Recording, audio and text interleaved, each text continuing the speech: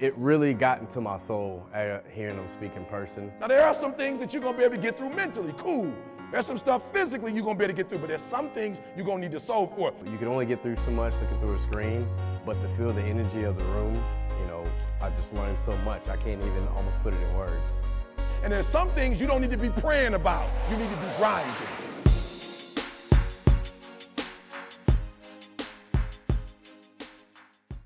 Hey, what up? It's your boy E.T. All right, guys, as we're getting ready to go into the third quarter, and then you know it, after that, the fourth quarter, it's over. But you know, I'm always talking about forward thinking, right? And I got this concept maybe about 10 years ago. You know, of course, growing up in Detroit, I always knew it, but I never really made the connection. You know, and that is the 2008 didn't come out in 2008 like the 2008 Corvette or the 2000, you know, 8 Escalade, it actually came out, you know, like September, October, you know, of that that year before. So the 2008 came out in 2007. And I'm telling y'all, when I thought about that, I mean, that thing threw, it blew my mind. And what it actually allowed me to do was it allowed me to understand that I need to forward think. You know what I'm saying? Like for real, my own life why wait for 2017 to come when I can do it in 2016? So I've been thinking, like, what's what's what's next for ET in 2017? What's next for ETA in 2017? And yep, yep, I got it. Yep, I've done a lot. You guys know NBA, NFL. You know, I traveled the world, books. You know, I've been fortunate enough to get a few uh, degrees. And what's next is to teach what I know.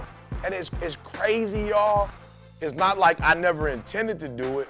You know, I would see the John C. Maxwell, you know, uh, training courses. I would see, you know, Les Brown, you know, Tony Robbins, you know, certified, you know, speaking courses. I would see that, but I just, I'm just gonna be real. Like, I didn't do it because, you know, they were doing it. Like, I'm just not that type of person. But this year it hit me like, yo, E, it's time now. Like, legitimately, it's time to help other people who are trying to find their space, you know, in motivational speaking in public. Like, it's time now, E. So um, it, it's on and popping. I'm about to introduce to you guys, you know, introduce to the world, you know, the first individual, you know, that I've been blessed to work with. She has a specific story. Uh, she has a specific place that she dominated, right? Um, and again, that's what I love, and that's probably why, you know, I'm so excited to work with her. Because a lot of y'all call me like, yo, ET, you know, and you probably thinking even as I'm saying this, like I asked you three years, I asked you four years ago. Well, for, it wasn't time. You know what I'm saying? I, I have to do things when, you know, when, when it matured and it's time now.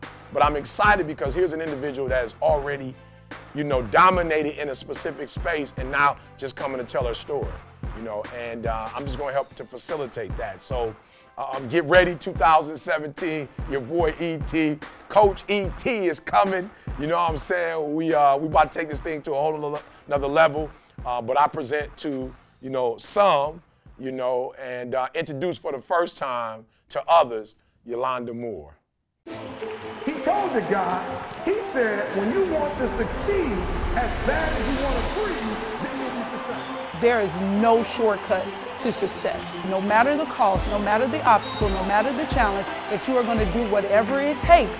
You can have whatever it is that you decide that you want if you're willing to do the work. Welcome to the first edition of Straight from the Coach's Mouth. I'm your host, Yolanda Moore, two-time WNBA champion and former Division One women's basketball coach.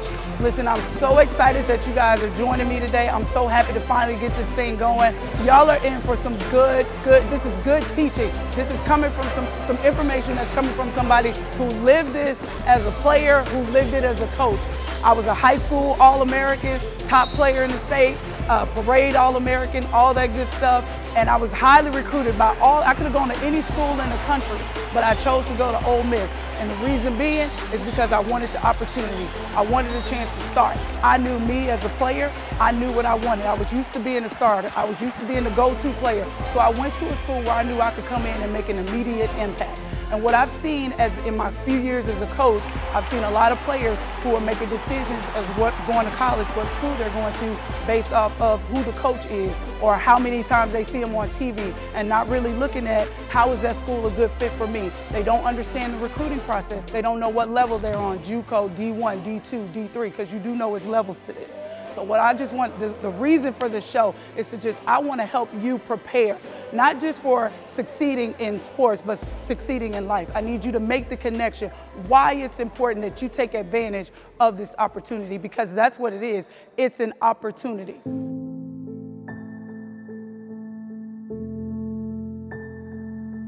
I went to Ole Miss. I was highly recruited, number one player in the state, Gatorade Player of the Year. Right before, the summer before my freshman year, I, I injured my knee. I had never in my life had an injury, not even an ankle sprain. So I didn't even know how to react. I thought my career was over. Then I went, had surgery, started the rehab process. Next thing I know, I'm pregnant.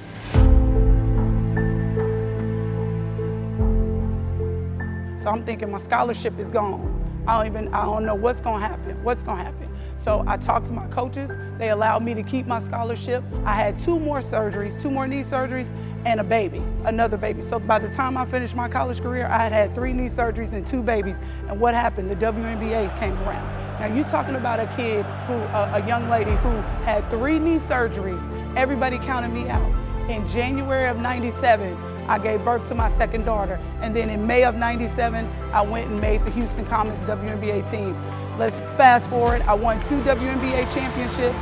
I went on to play for four seasons in the league. I went overseas and played. I worked as an analyst for Fox Sports, even did some radio for the Memphis Grizzlies, and was able to get my master's degree and also coach at the college level. So I took full advantage of my opportunity. But what I've seen is that I see a lot of athletes, they can make it to college, but they can't sustain because they don't take advantage of the opportunity. They think it's just skill. They think it's just talent. They don't understand that it's a whole, it, it's the whole student. It's not just being an athlete, it's being a student. It's not just about talent, it's not just about playing a game, but it's about purpose, connecting skill with purpose, skill versus purpose. When you're going to college, why are you there? And when I was coaching, I used to ask my players all the time, why are you here?